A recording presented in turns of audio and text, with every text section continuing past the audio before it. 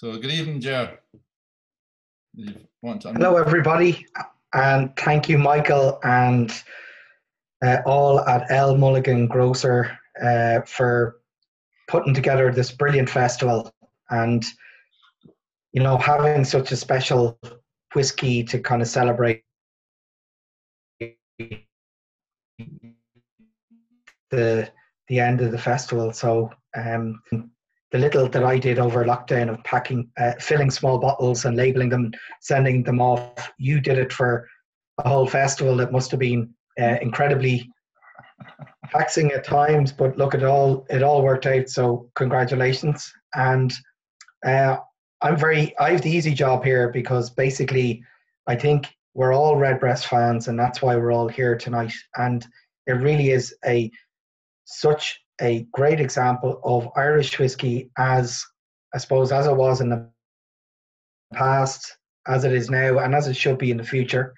It is, you know, a single pot still Irish whiskey. It is uh, rich in heritage and rich in flavour, uh, and all of those other cliches. But it also delivers every time. So each of the whiskies in the range is slightly different due to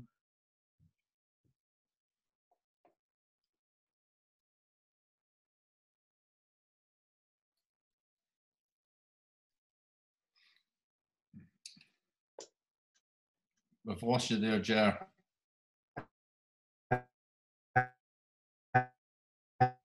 Um, slightly tweaking the production process. But to talk about Redbreast and Redbreast Dream Cask, you must fundamentally understand the makeup of the whiskey. So I'll basically I give you a little bit of the background behind it, but what I'd like you to do, yeah. Am I back? Um, I, you're, you're, you're in and out. Um, but we won't worry too much about it because I think we've, we've got plenty to drink, so we'll uh, maybe get the first sample in the glass.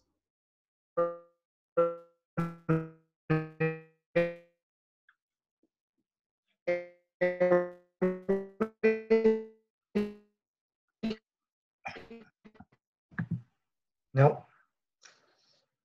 You're back again. Oh, you're gone again. Gone Back in. Sure. No problem. Um, Grant, so what I'd like to start is, do you know what I, I might do, Michael? Let's just move. Um, any better? Yeah.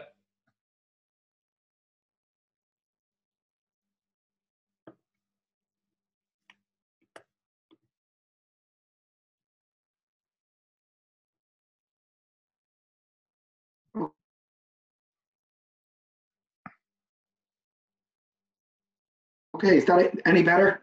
Yes, yes. Is that better? Yeah, finally. Okay. So amazing. I just moved literally two meters across the room and it's better. That's so um basically um let's start with a whiskey. So hopefully you've got Redbreast 12 year old in your glass. That's sample number one, everyone. Sample number one. And if you don't know what it looks like, this is what Redbreast 12 year old looks like. Um, and the whiskey itself is 12 to 15 years of age. And it's made up from basically uh, two different types of pot still. So a light style of pot still and uh, what we call light pot, strangely enough um, and another type of pot still that we call mod pot. So it's kind of a medium uh, style of pot still, uh, fruity and sweet and uh, lighter in flavor, whereas the the light pot would be more spirit forward. And each of those are aged in parallel in first fill bourbon, but uh, the light pot is also there's another uh, proportion light pot aged in um, first fill sherry barrels, which have been seasoned with Oloroso sherry. And they're all aged for 12 to 15 years. And then it is bottled at 40% ABV. And um, it is, you know, it's last year it got awarded at the San Francisco Wine and uh, Spirits Challenge. It got awarded Best uh, World Whiskey.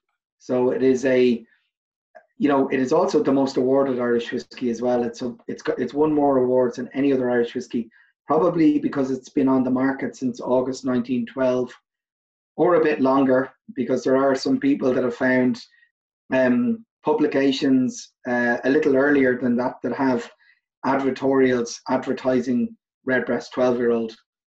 So originally it was a Gilbey's uh, W&A Gilbey's product.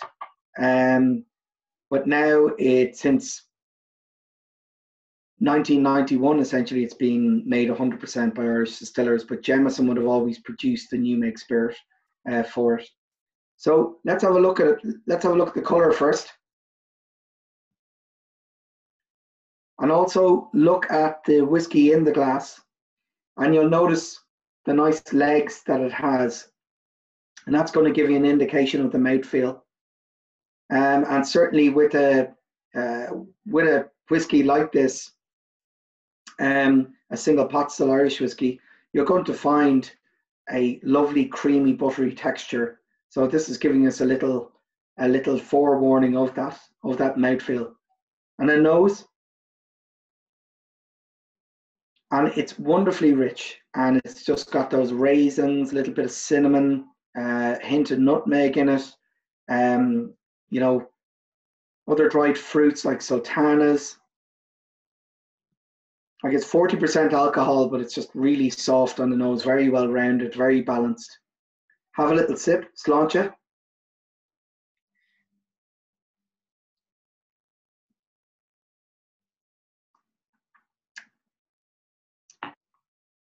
And you can immediately get those two fingers of pot still spiciness on on the front of your palate. And they are therein followed by that creaminess as I was indicating. It's there's a lovely hit of fruit and definitely the influence from that American oak, the layers of vanilla there, and then that wood influence at the back, bit of toasted oak, um, and a lovely long, long finish. And then it leaves a nice dryness at the front of the palate as well. And basically, this gives you this moresome character, I'd like to say that it has. But I mean, bang for buck, it's such a incredibly good value and an incredibly uh, rich whiskey that delivers absolutely every time. You know, it's no wonder it's such a favorite with whiskey drinkers here in Ireland and all over the world. You find it when you go back to it again, there's a lot more of that pepperiness to it. Have another little sip, sláinte.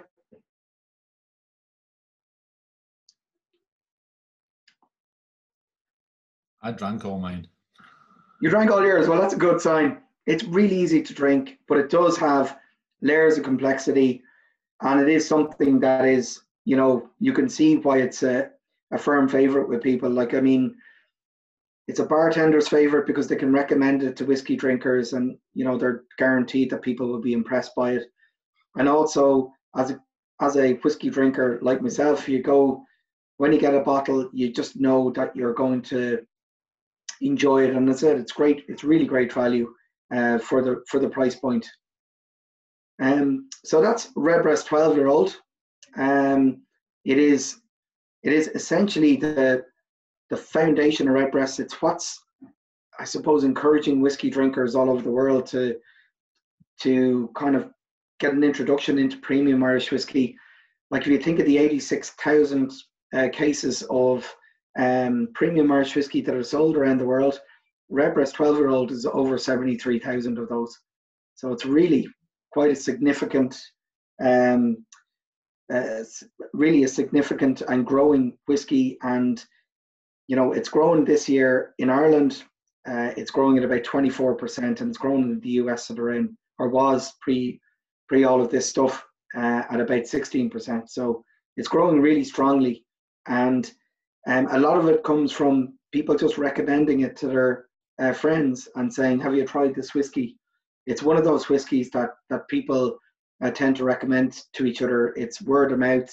It's and that's the wonderful thing about whiskey is um, sharing sharing uh, something that you found now may, and it's very well known to us but it's new to a lot of people around the world I, but let's I, sorry go ahead Michael.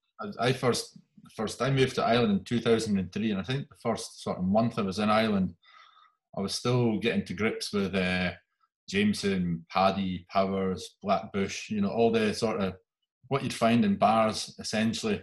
And then I, I, someone recommended to me, "Have you tried Redbreast?" No, never even heard of it.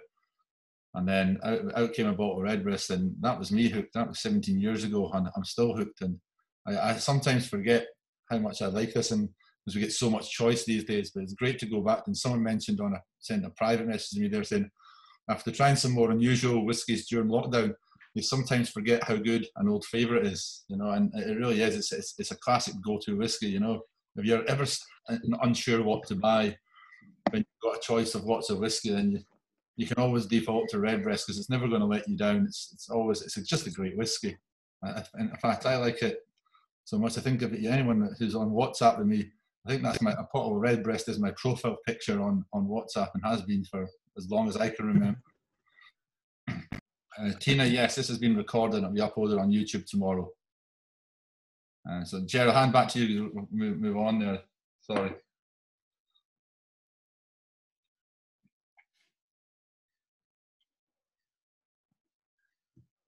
I think Jess going to have to move another meter.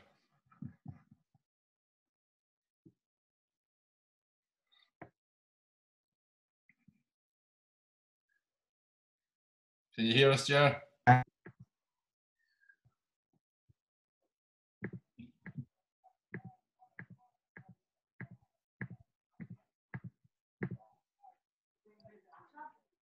Uh, I don't know. Um, yeah, you're back now. Back. Okay. um, I'm sorry. It's just I don't understand why it's doing that. It's uh, my sincere apologies, and hope it's not too distracting from from the conversation. So, um, what we're looking at is uh, Redbreast 15 year old. Is what I suggested that we move on to. Uh, number two. Number two. Oh, good. I was hoping that would be the case. so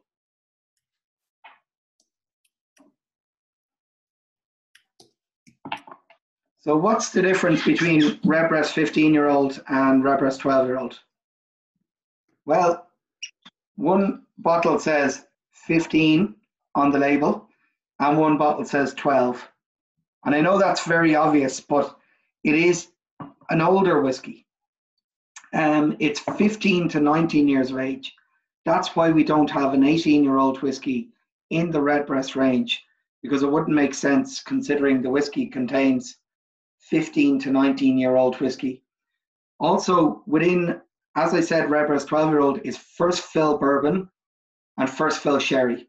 In the case of Redbreast 15 year old, there is first fill bourbon and first fill sherry, but also refill, a large um, contribution of refill barrels.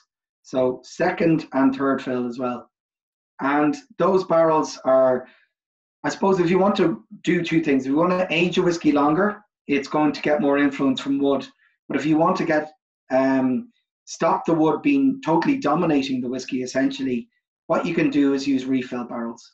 And the best way to explain this is if you imagine a first fill barrel being a new, a brand new uh, tea bag, um, a second second time you make tea with it, it's going to be lighter. The third time, it's going to be lighter again.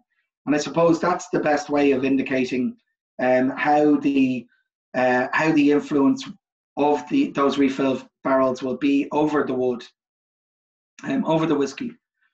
So what this will do is you'll get more of the uh, spirit contribution coming through, but also you're allowing that interactive reactive effect within the barrel to still happen without the wood totally dominating uh, the whiskey in the end. So when you look at the whiskey, so have a look at it. There. It is actually a little bit darker in the glass, but that would be because of the wood. But on the nose, there's much more of what I would call a herbaceous type note to it. Um, you know, I would describe it as, uh, you know, dried grass at the side of the road, or you know, it's not quite cut grass in the field or anything like that. It's more more of a balance between, um, more of a balance between the spirit contributing and uh, and the uh, and also the the um, you know the, the wood contribution as well. So it's more greener. Uh, if you imagine redbreast, obviously is redbreast 12 year old is red, and uh, the, a lot of the color in redbreast 15 year old is green. Um, you know, one of the things when you come to uh, talk to Billy Leighton, our master blender, is he um, smells in colors and shapes. So he has a very uh, clear, um, you know, when he's nosing certain smells and tastes, he actually sees colors and shapes. So that's how he builds things together. Um, and the colors on the bottles are, you know, are, in no way um, a, a, reflection of that, but it does. It is a greener, more herbaceous fit uh, whiskey.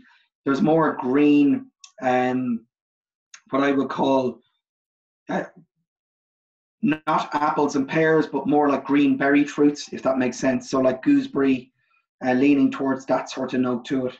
And um, it's not as sweet on the nose. You know, there's not so much of a, an influence of that vanillin or, or those wood sugars as you get in the Redbreast 12 year old because they appear in higher uh, contents in the Redbreast 12 year old. But it's just really, really different. Um, fundamentally the same base whiskies, fundamentally put the same way together, but a little bit older, and also the introduction of, of barrels that have been used before, and you get a totally different whiskey. It's absolutely amazing. So have a little sip, sláinte.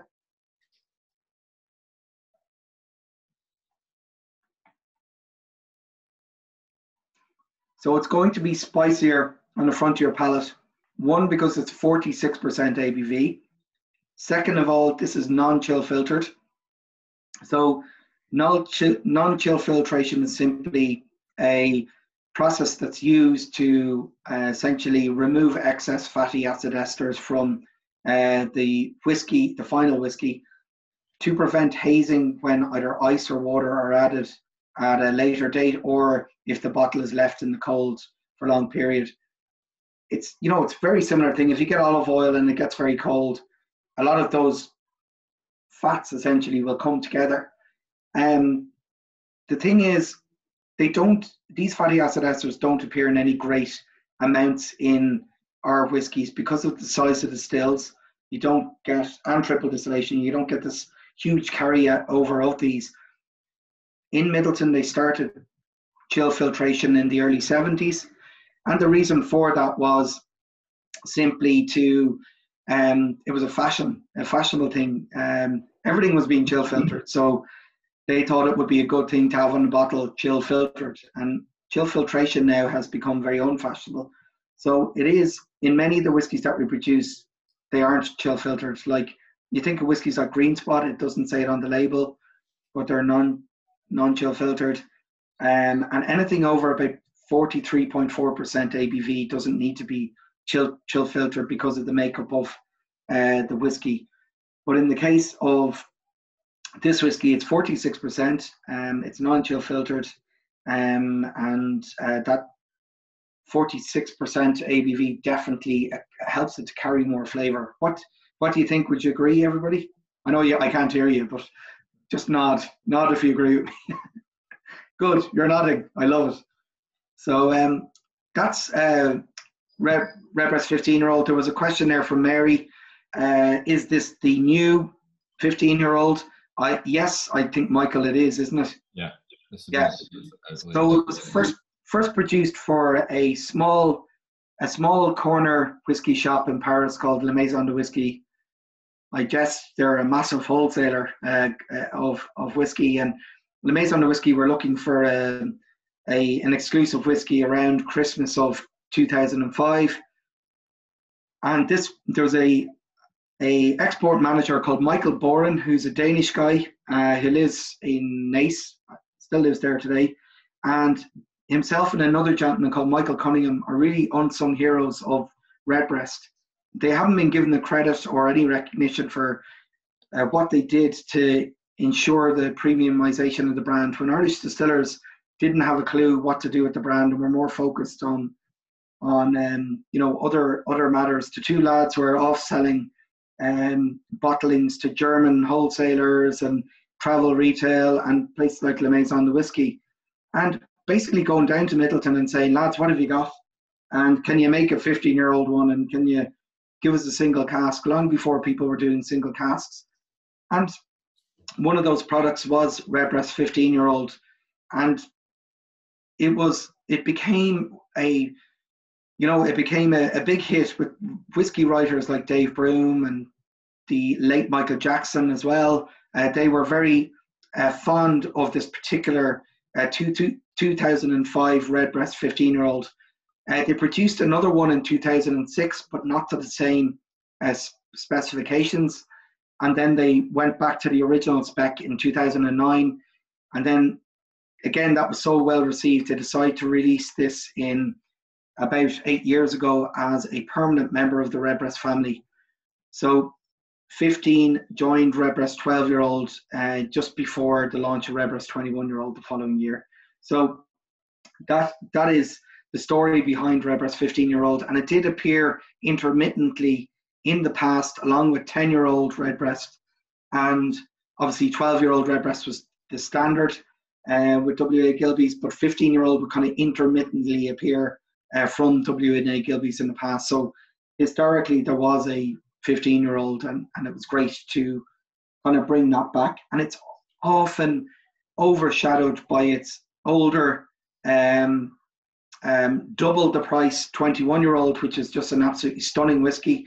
But it is Redbreast 15 year old is half the price of Redbreast 21 year old, but not half as good. It is re- it's a really great whiskey, and it, I think it's just often overlooked because Redbreast 21 year old is so um, stunning. So if there isn't any questions on on Redbreast 15 year old, we might move on to our our uh, next whiskey. Oh, I wonder what that is. Who's excited? I think we all I think we all are excited. So um, the next whiskey that we're going to try is Redbreast Dream Cask, um, 3.0 as some people call it.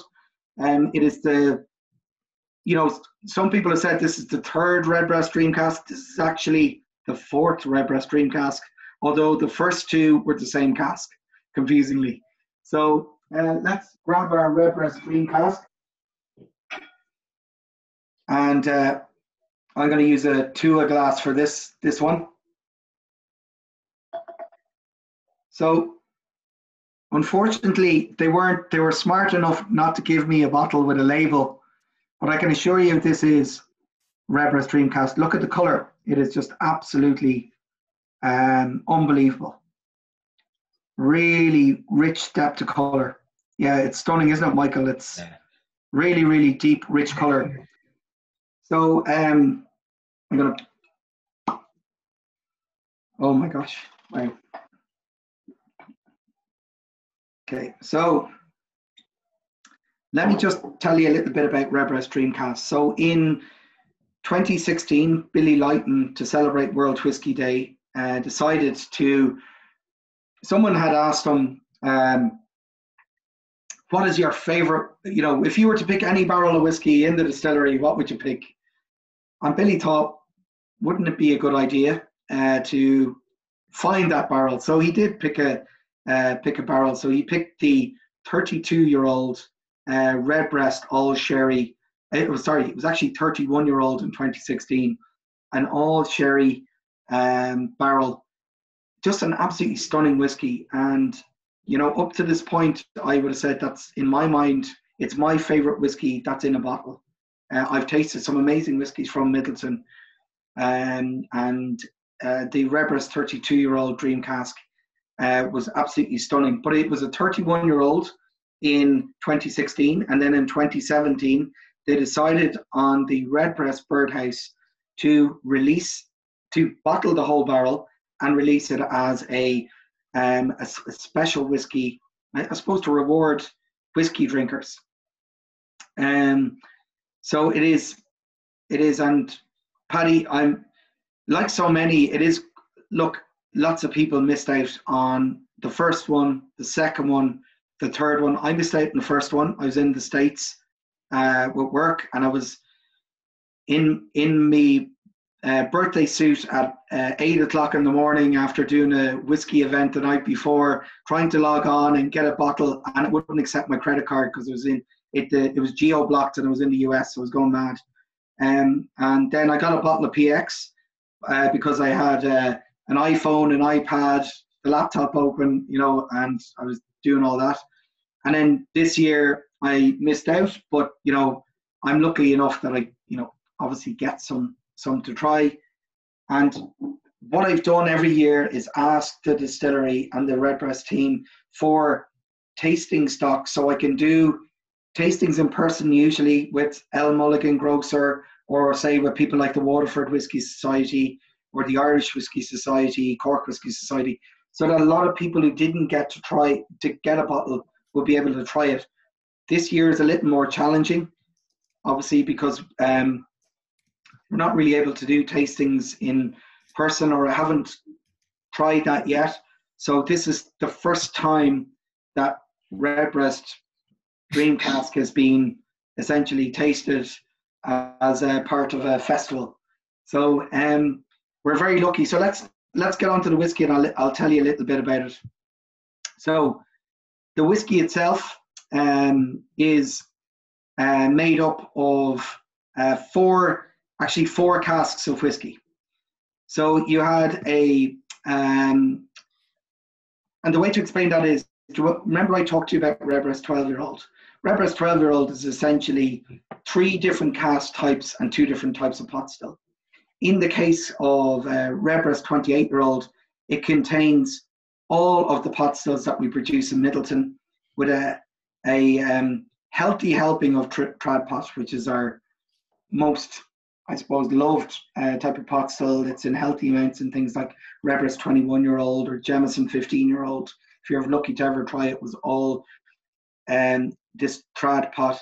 But basically, the whiskey in this case is 28 years of age. Um, what you've got is one cask that was distilled in 1989 uh, it's matured in basically an ex-bourbon bar- barrel and then was recast in 1995 into a ruby port cask. Now remember that ruby port cask because that's important to the the end of what I'm going to tell you now. So it was 1989. It spent uh, essentially um, about five years in a uh, ex-bourbon barrel, first fill ex-bourbon, and then it was recast into a bourbon into a ruby port cask for an additional uh, 15 years. And sorry, an additional 25 years. And then the second cask was a single pot still, um, another single pot still whiskey that was distilled in 1991, and it was matured in a second fill ex bourbon. And that is one type of pot still in both of those uh, both of those barrels there. Then we get on to a another single pot still whiskey, which is a different type of pot still, uh, which is um, uh, matured, distilled in 1991, and again matured in second uh, fill ex bourbon barrel. Um, and as I said to you, if you're maturing a whiskey for a long period of time, in this case for nearly 29 years, you'd want something that is a refill barrel. Otherwise, it'd be totally dominated uh, by the wood. So a first fill, really, you'd be looking at you know 25, 26 years, and then after that, the whiskey would not improve. I wouldn't say it would disimprove, but it just wouldn't um, be maybe be as good. So in the case here where we're aging something for nearly 29 years, it is essentially a refill, a second fill bourbon barrel. And then the fourth cask was a single pot so whiskey, again aged, distilled in 1991, matured in an ex bourbon barrel and recast into a sherry butt in 2011. So essentially, you've got um, 20 years in a ex bourbon, so first fill bourbon, and then recast into a, a first fill sherry in 2011 for nine years. But volume wise, what happens is these all these barrels were vatted and then they were put into that ruby port cask that I talked to you about, um, where the initial ex bourbon barrel was recast in 1995.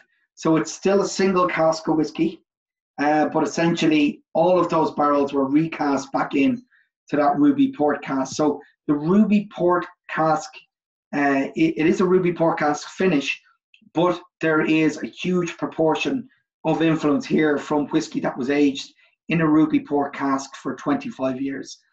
There's also massive influence here from that sherry butt I was talking about that it was refilled into 2011. This whiskey is a fortified wine bomb. So have a nose, have a nose with. So it's incredibly rich. Um, beautiful, uh, beautiful notes to it, like you know, kind of so almost a kiwi, juicy kiwi melon, that type of note, note, and nuttiness to it, an almond nuttiness to it. There's definitely that vanilla there again, big, you know, the American oak barrels, but also the Spanish and the Portuguese oak are giving you vanilla, you know, that kind of uh, again that redbreast signature of cinnamon and nutmeg coming from those Spanish oak barrels. Um, like there's a big oak contribution here, but there's also a little bit of mintiness, like a mint herb, herbal type note to it, a lighter type note. It's really, really interesting. Now let's have a sip. Sláinte.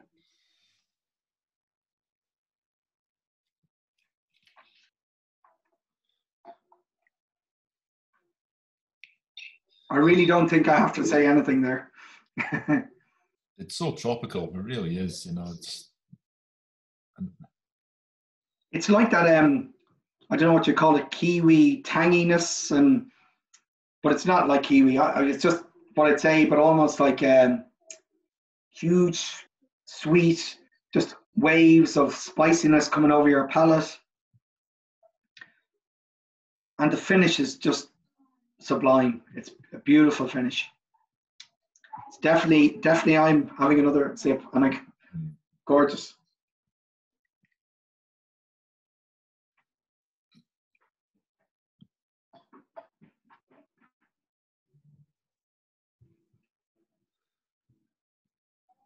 Oh, it's, a massive step up, say from from 21. You know, there's a that that tropically fruitiness, that kiwi, the passion fruit. You know, it's, it's, it's all there, it's banging there, but you even though you've got all these sort of this that layer of flavour, yeah, you can still tell it's redbreast. If you know what I mean. I still yes. that sort of a little bit that touch of mustiness, you know, that leatheriness that you see in redbreast 21. You know, at that age, it's there. You know, it's you know, this does as, as we've drunk a 12 or 15 and we're on to this, you can tell this is redbreast. You know, this is not like deviating a million miles away. You know, it's it's very much, you know, if you were the to, DNA DNA yeah, redbreast. Yeah, yeah. If you were to try try all these three blinds, you would pick this out as probably the oldest one without a doubt, and you'd know it was the Dream Cask, but you'd still know that you tried three redbreasts. You know,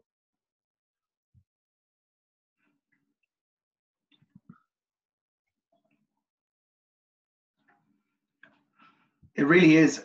And like it's cask strength, you know, it's 51 uh, a half percent ABV, but I would not be I would not be adding any water to that personally. Um, you know, it's it's just amazing that every year they're challenged with coming up with something different. And the Pedro Jimenez last year was maybe what I would call not not a flavor profile that people um, Irish people are familiar with, um, but definitely the fortified wine influence in here with this Oloroso sherry and uh, this tawny ruby port are giving you loads and loads of influence.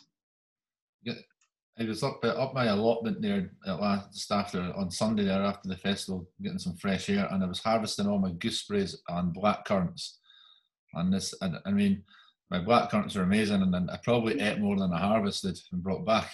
And I've been eating black currants all week, and you know, and it's you know when you've got that that flavour in your in your senses for a while, and yeah. you, you can I can now I, I really pick out the black currant on this now towards the end. It's like it's part of the finish it's really there, and it's one of these dark, rich red fruits that you'd expect to, to taste with when you have like a, a port pipe involved here. You know, um, it's amazing.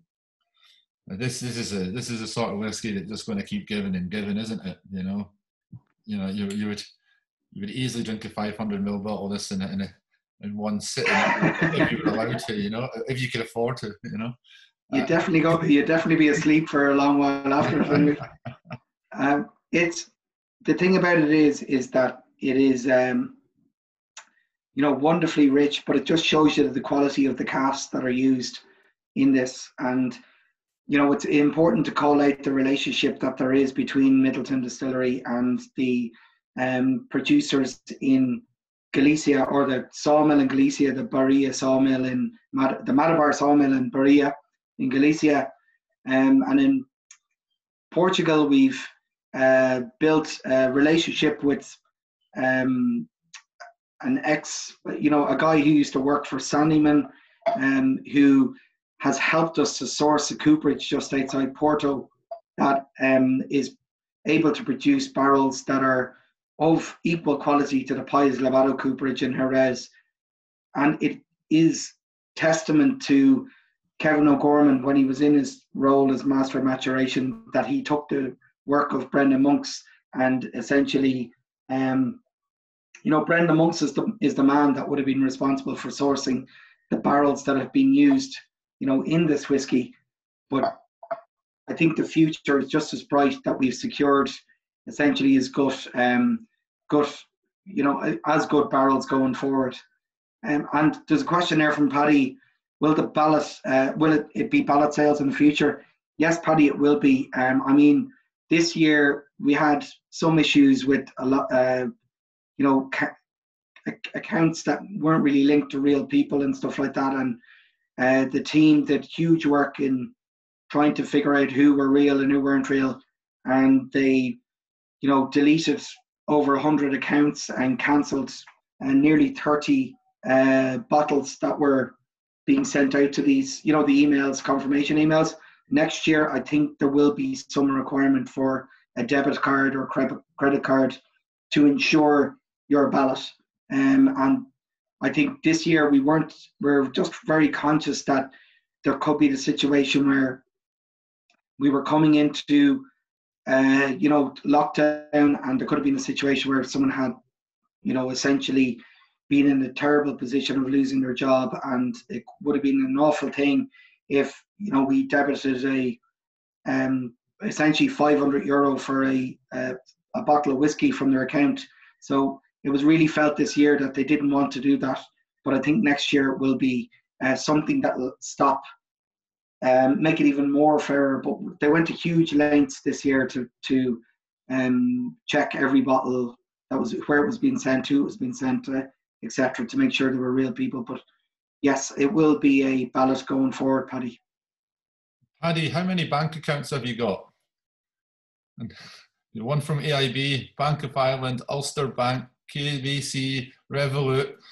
You can have as many bank accounts as you want. You have to have the money to put in them.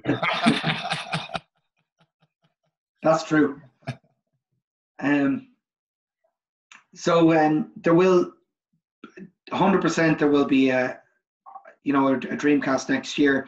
But also, I'd ask you if you're not members of the Redbreast Dreamcast Birdhouse, go uh, the Redbreast Birdhouse, I should say. We go to www.redbreastwhiskey.com forward slash birdhouse um, and just join the birdhouse. All you have to do is put in your email address and your date of birth, and you become a member. But it means then, and click all the options to receive emails and all that sort of stuff, because some people said they didn't receive an email, etc. Uh, this year. But the difficulty is, is that if you signed up pre 2018. Uh, whatever way the GD, the the uh, what's it called, GDPR uh, works.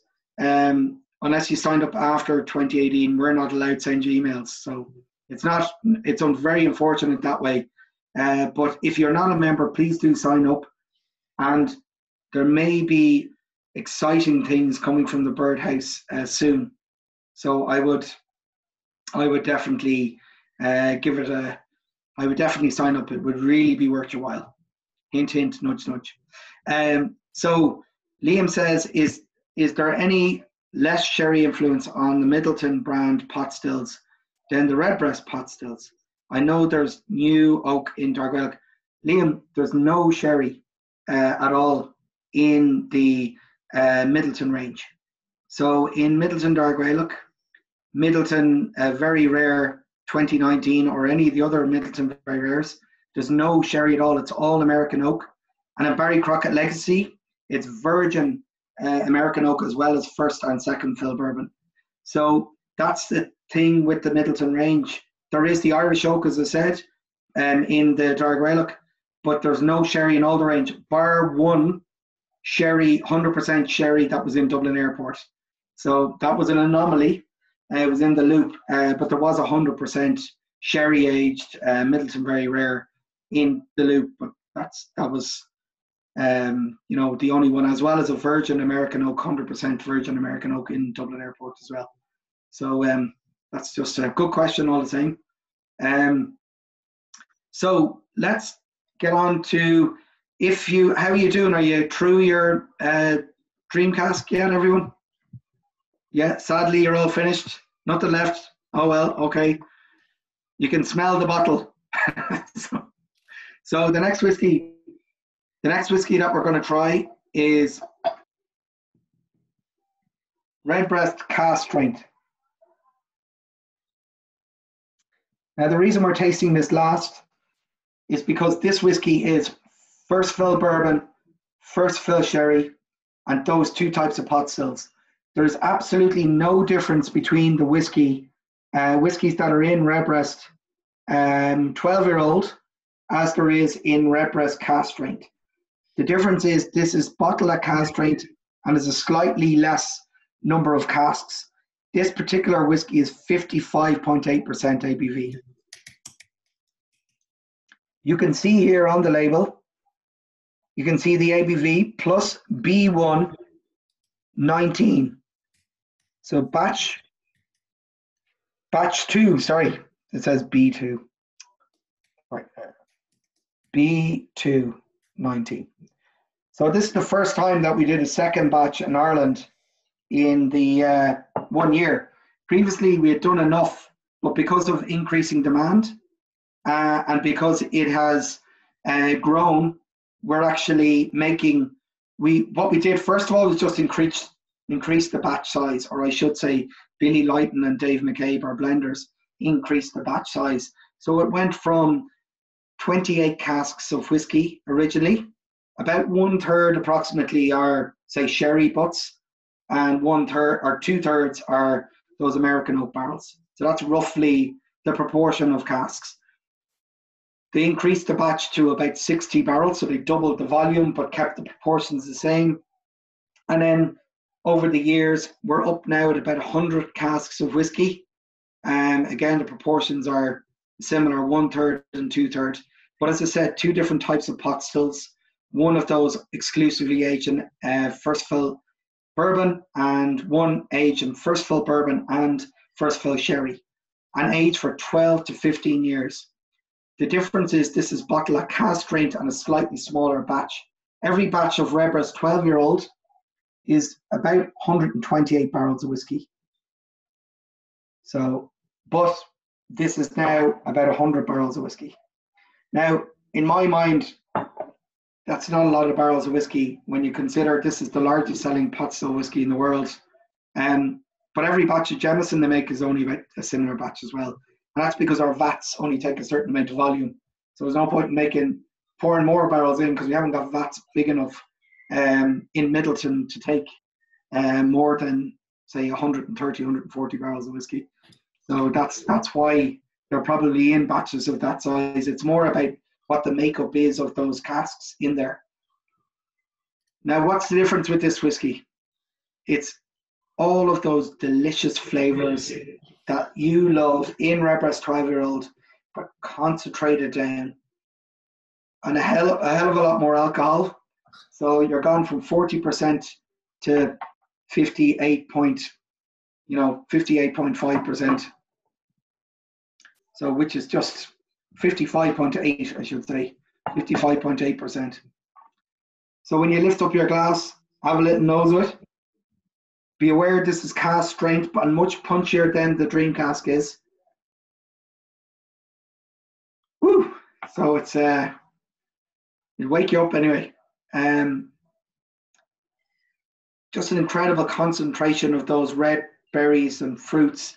Uh, you're looking at kind of, you know, currant and um, you know, rich, kind of uh, rich red fruits, or like you know, strawberries, raspberries, that type of type of um, compote.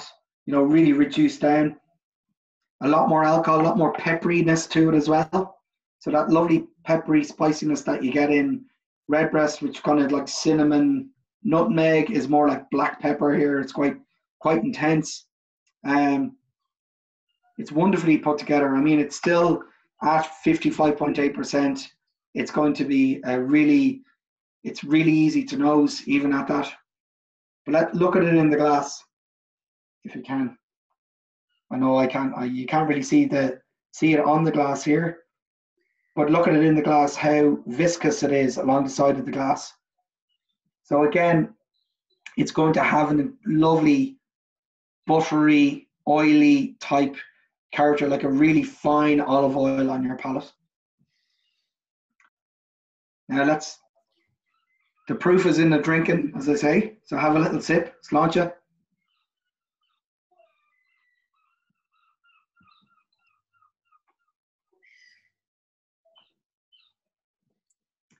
You can see,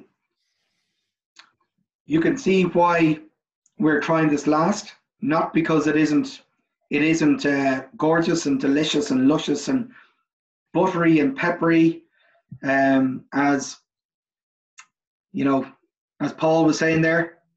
And but basically the reason we're tasting this last is this is totally dominating my palate. It is peppery. There's loads of wood compounds in here loaded off vanillic acid. But the sweetness is really balanced by the what I would call the intensity of the alcohol here. This is nearly, you know, almost 60% alcohol, you know, and that alcohol is delicious. It really is. You have to remember the the quality of the spirit in here is just stunning. The length is massive. Little bit of a little bit of a punch there at the back. I won't lie to you. Um, you know they say an old Irish saying, "Never water another man's whiskey." Uh, but in this, again, I'd be reluctant to add water to it, but you wouldn't. I wouldn't be. Um, I wouldn't be admonishing anyone if they did add a few drops of water to this. I think it will really uh, open it up. I actually might give that a little a little try myself. Got my glass of uh, Dublin Corporation water here.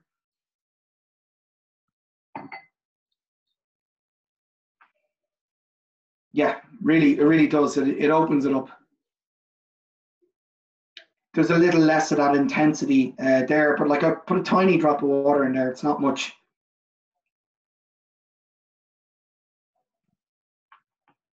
Mm. Much more of the fruit. I think you might you'd agree. Less of the punch in the center of the palate.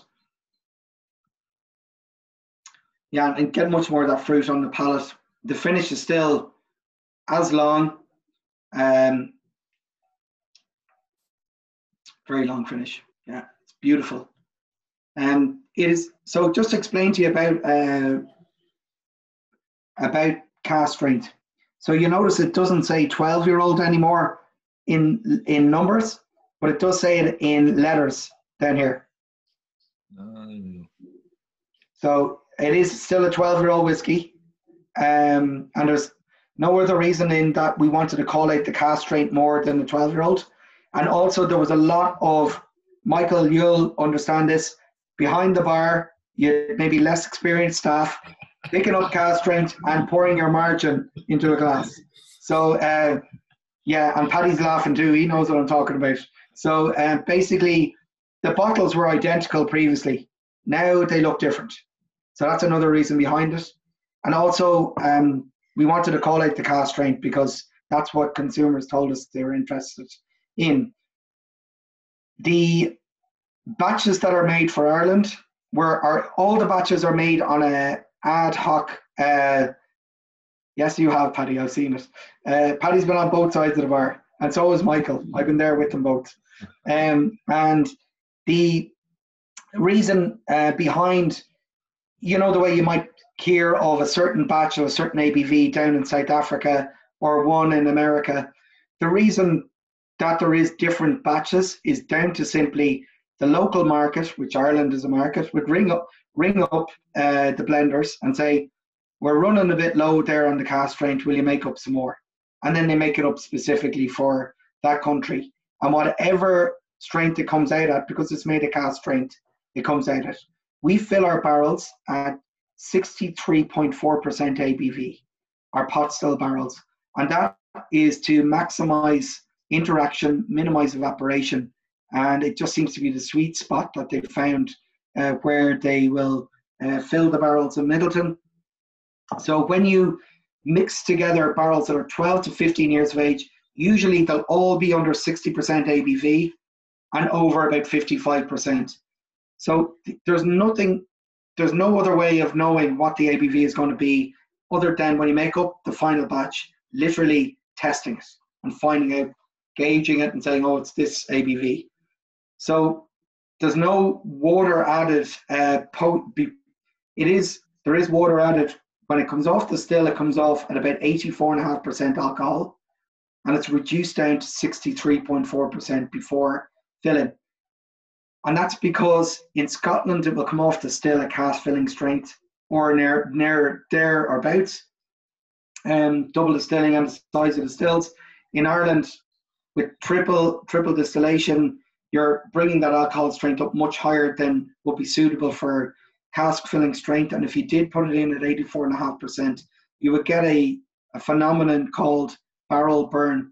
And what that does is essentially the alcohol and the acids are so strong in there that basically what will happen is it'll burn the inside of the barrel and it won't mature or it won't mature at any uh, good rate. So that sweet spot is about 63.4% ABV for pot still hot still whiskey is what we fill our barrels at.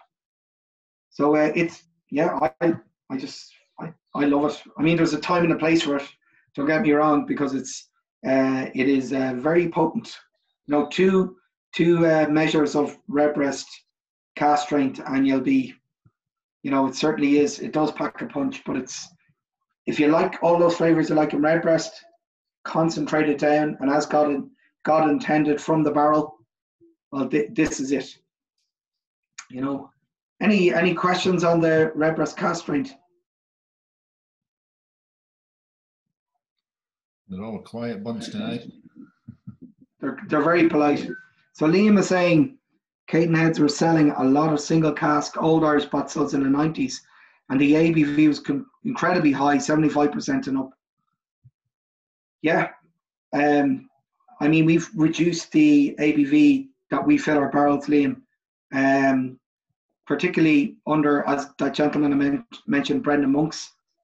There was a lot of experimentation done in the early 70s around every part of the process, you know, from dis- brewing, distillation, but in maturation in particular, particular they decided to um, really forensically look at standardizing the process in Midleton because if you think about it in the past, Liam, we had two distilleries in Dublin and we had a couple in Cork and they were all doing different things.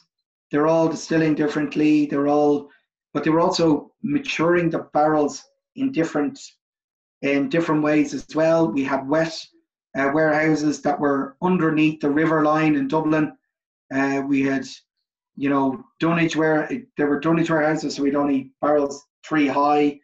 Um, we had warehousing on the quays in Dublin. We had warehousing underground, and you know, in, we were where we were warehousing barrels in railway tunnels, all sorts of stuff, and it meant that there was huge variation, and it made it more difficult to manage the stock and also figure out what you had.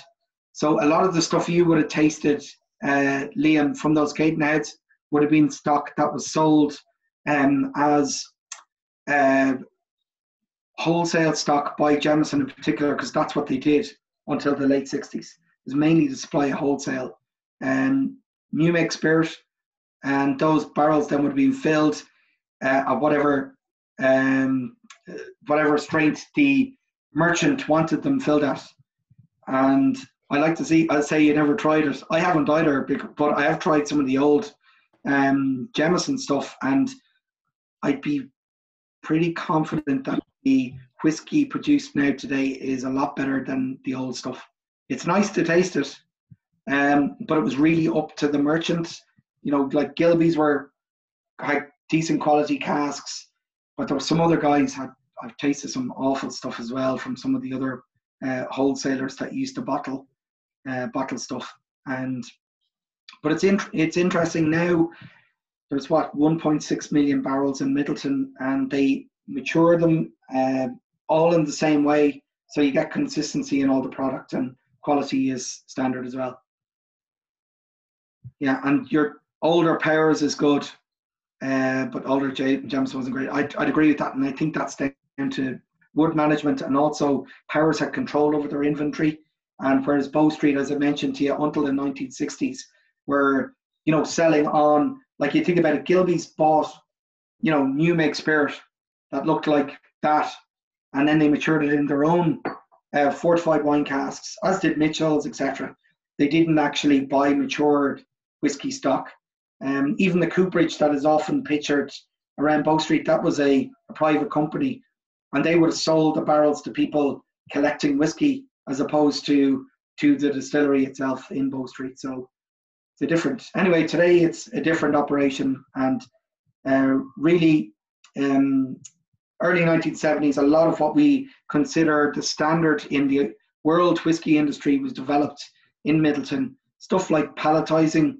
Uh, if you go to Space Speyside today and you go into a warehouse, you'll see, you know, whiskey all palletized, and that was pioneered in Midleton in the early 1970s. So I know it doesn't sound very sexy, but that's that's that's what an innovative place Midleton is. And around maturation, they did lots of things like putting barrels and bags and all this sort of stuff to try and reduce the angel share.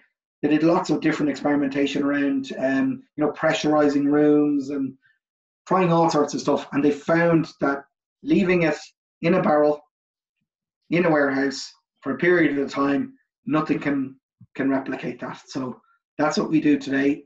No temperature control, no nothing. Just put it in a warehouse, leave it there, come back a couple of years later, and Bob's your uncle, and drink it. So, um, any other any other questions there? Yeah, Jared, Jared, hiya. Thanks for the presentation and the and the chance to taste Redbreast. Um, the Dream Cask is amazing. But um, just a, a, more general one on like almost a craze or maybe uh, I suppose people looking for cask strength stuff. Like it seems to be that's the trend or the fashion maybe at the moment. Everyone just wants cask strength if they can get their hands on it of, of, of every brand. What, why do you think that is? Or I think it's it's down to people being spoiled and going to going to distilleries and tasting whiskey out of barrels and there really wasn't the opportunity to do this. Um, you know, Michael will tell you 10 years ago you know the distilleries weren't there, and also access to the distilleries in Ireland anyway weren't there. But now you can go to, you know, a number of distilleries um, in Dublin or to Dublin's only licensed um, maturation warehouse in Bow Street, and you can do a cask crawl and you can taste whiskey from a barrel. Um, or you can go to distilleries in, you know, Dingle or in, uh, you know, up to Bushmills or whatever, this wasn't really a thing in the past, Paul, and now it is. I think people are exposed to a style of whiskey that wouldn't have been widely tasted or available previously, and now that's just generated demand because they they also get to do tastings where they get to taste a lot of this, and also a lot of the single casks are bottled at cask strength now as well, which again there wouldn't have been believed even five or six years ago. There wouldn't be believed been believed to, be the market there for for this. You know, Redbreast cask strength was really a very niche product uh, for specialist off licenses like L Mulligan Grocer or um, you know the, the likes of other specialist whiskey shops in France or Germany. And now um, there's much more demand, and I noticed there was a bit of uh, you know there was other another whiskey festival which will remain unnamed online, but they uh, had a Powers um, John's Lane at cask strength and there was, you know, a lot of people saying, where can we get it and why? Don't know, Paddy, you don't know what you're talking about. There's only one L Mulligan Grocers Whiskey Festival, and it's also a lovely place to visit for somewhere to eat over in uh, Stoneybatter as well, if you're if you're over in Stoneybatter. But the um, the I think a lot a lot of that is to do with just having more access to these places as opposed to um, you know, just people waking up in the morning and saying, "Oh, I want strength whiskey." I think it's because they've been exposed to it and they like it. And that would be my reasoning on it. Um, We've I just just don't think noticed, it's available. noticed over the last few weeks as well. We've introduced strength whiskies to our tastings over the last few months and bringing them in, and you can see the, the uptake in them. And then we've done a full range of cask strengths with a with another distillery or Tipperary there, and we've seen that, and that's the reason sort of tonight that when we were slightly, you could have put a 21 in here, you could put Lustau in here. And I said, we'll put the cask strength in because we can see people now wanting to try it. And so give them the opportunity to try, try it as well. And I, I suppose it's a feature of our tastings as well, previously and now going forward, we'll just keep introducing more cask strength because people want to try it as well. And like for years in, in Scotland, it, it was sort of the thing, you, you got access to a lot of cask strength whiskies. And, we're, and the reality is in Ireland, we're just playing catch up hmm catch up. The, the consumers playing catch up. I remember 10 years ago, I knew pretty much most of the whiskey consumers in the country. You know, Yeah. now we're, just, we're seeing lots of different people come on board, different ages, you know, it's, and it's, there's a whole new buzz around whiskey. So as people get into whiskey, they, they, they explore it more. So they look for different things. So, you know, if you're normally drinking Redbreast 12 year old and all of a sudden there's a Redbreast cask strength on the shelf, you want to try that as well. You try that, you like it. So you explore within other brands as well. Say, well, I've tried, tried their, their normal level whiskey, but I want to try what have they got its cask strength. So you're constantly exploring and evolving, which is great because, you know, as much as Redbreast 12 is an amazing whiskey, you know, I wouldn't want to be drinking every day all the time. You know, I want to explore different whiskies and you know, like even like some of the Powers range and Yeah. And the Midleton range and even the Jameson range, which is quite explorative as well. So it's nice to have that option because we have a Jameson 18 cask strength, don't we? As a, alongside the, the regular 18 Jameson. So there's lots of nice introductions are bringing us all along as a, as a consumer in Ireland, and it's, it's fantastic to see. It's the whiskey uh, drinker in Ireland has become more discerning, Mm. and it's you know through no small uh, contribution of you know places like L Mulligan Grocer, where they're able to bring consumers on a journey because the staff have the knowledge, um, the way you know you're not going to get it in Tesco. You know, Tesco is a fine store. Don't get me wrong, but the difference is is that when you go to a specialty whiskey um, store, they're able to help you with your education and also find out where you are in your whiskey journey and then able to bring you into it. And these places didn't exist until people like Michael come over here, um, like his predecessor. I'm Um, Scotsman as well. No, I wasn't going to mention. I wasn't. I wasn't going to. We're all friends. We're all friends, you know. I was going to mention uh, a fella called John Jameson from Alloa. That fella. So he he came over and married your one Haig, uh, whose father had a couple of distilleries in Ringsend. So, but it is uh, it is true that unfortunately the knowledge had been forgotten here by both bar bartenders, people working in Irish distillers, and I and openly admit when I started in the company, as we call it, back in 2001 I could not have told you uh, what uh, whiskey was made from. I thought it was vodka with uh, colouring in it. I'll be totally honest with you. But what happened was I met people like Barry Crockett and etc. And they were able to, you know, I, I just got an absolute bitten by the bug and really loved the history, the people around it. It's a really just such a great community. Um, and also the products are 100% made here. They're they're you know made from raw materials from here. Like how many things have we invented in Ireland and packaged and sent around the world? You know, and we, you know, whiskey is one of them. You know, it's just absolutely amazing that it started here in Ireland all those centuries ago, and now we're we're we're rediscovering it ourselves, and we're just on a different journey. We just haven't had the knowledge previously, but I think consumers now are so much more knowledgeable about it, and that's why they're attracting, you know, these different products as well. And as Liam Smith said, we invented uh, cheese and onion crisps as well. Good point, Liam. yeah, um, and Liam, just quickly to uh, answer your question about the 15 year old Jameson. So the, the 15 year old Jameson Black Label export that you're talking about, which appeared both in a, that, that uh, almost hexagonal or six sided bottle, uh, is that the one you're talking about? Yeah, that was a. It was a. It was like a. Uh, well, uh, there was a, that great pot still from the Millennium was was um, the, the one I'm talking about was a really yeah. old one from the 60s or 70s that had a horrible yeah. taste on it. But yeah, but it, yeah, obviously the, the, one from around the millennium was fantastic. So the one the one you're talking about was a um, there was a 15 Italian and 12 year old. Yeah, it was for the Italian market. So the stock would have been from Dublin, and uh, it would it would have been obviously Midleton stock. And as I said to you, the wood management program that was in Bow Street in particular, you would have had grain whiskey that was distilled in John's Lane, and you would have had it blended with whiskey that was probably even much older than 15 year old um, from Bow Street. And that's that's what you're drinking there. And it is earthy, um, musty, you know. Shocking. Almost, it was shocking me. yeah, yeah, I know. I tried it, but it's interesting because it. Yeah, yeah, yeah, yeah, yeah. It makes you appreciate how good the whiskey is there. Oh yeah, absolutely. Yeah, yeah, yeah. But it was, the older powers is much better actually.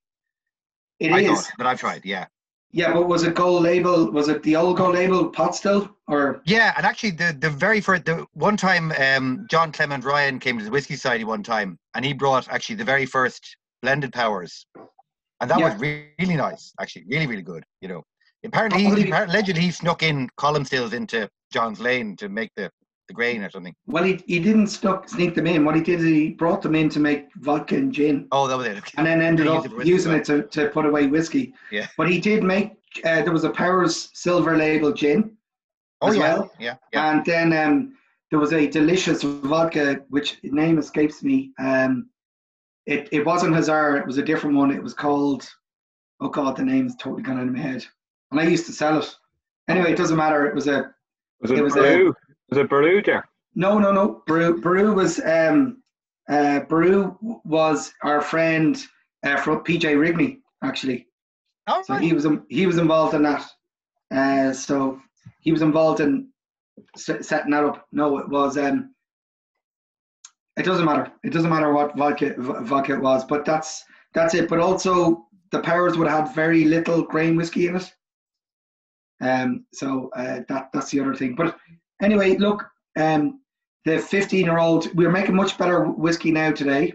And uh, yeah, yeah, yeah. I really hope you've enjoyed your journey through the uh, Redbreast, some of the Redbreast family.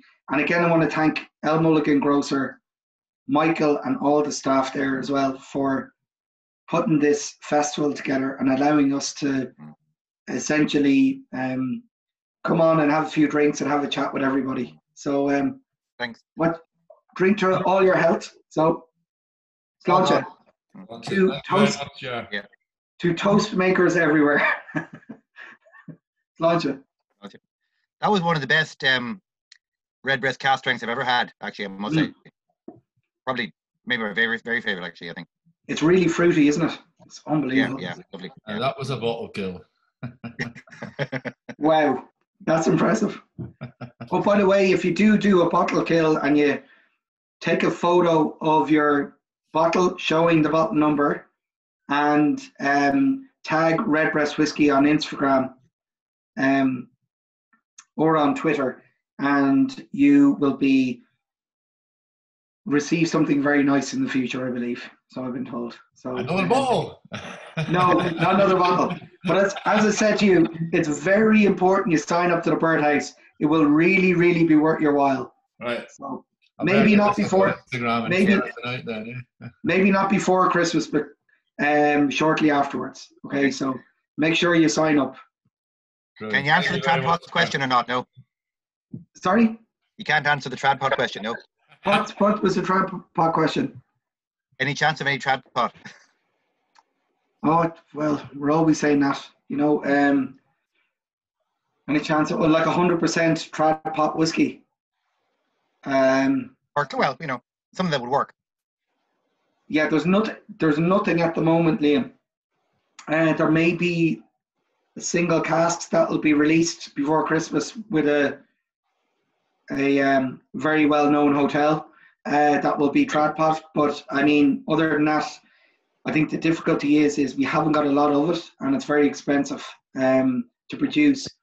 So there is all of these older whiskies, those 1.6 million barrels, by far 90 95% of it is all Jameson. So it you know if you think 8.4 Yeah, million Yeah, yeah, yeah. cases are sold, so we have very little of this older stuff. And I of course I'd love everything just to be in trad pot. I'd swim around in this and drink it all day. You know you can it, it is um oh, it's wonderful. It gives you all those stone fruit characteristics, those tropical fruit notes that Michael was talking about in the the Dream Cask. But the answer is in the foreseeable future, say the next six to nine months, no, there isn't anything. Liam. Okay. Sorry about that. No, no, thank you, thank you. Well, thanks very much, Jer. Uh, thanks for your time this night, and thank you, Rowan, as well. Um, it's been great. Um, we'll finish up there. Uh, for anyone who's interested, next week it's sold out, but we have an Indian whiskey tasting. Should be interesting. Oh, And in two weeks today, we have an Ireland v Australia whiskey tasting. Should be equally interesting. Uh, there's still tickets available for that. It's a larger group, so we can sell more tickets. There's more whiskey available there. So if you're interested in that, they're available online at lmulliganwhiskeyshop.com. And uh, who knows, we've got a few more interesting events coming up as well. We'll keep we'll keep running them every week because we're aware that it's great that people who don't live in Dublin who can't come to the live events can still watch online. And uh, even though we might all be zoomed out at this stage, you know, once a week won't do any harm, you know. so uh, thank you very much, everybody. Enjoy the rest of your evening. Thank you. Thank you, everyone. Thanks very much. Thanks, everyone.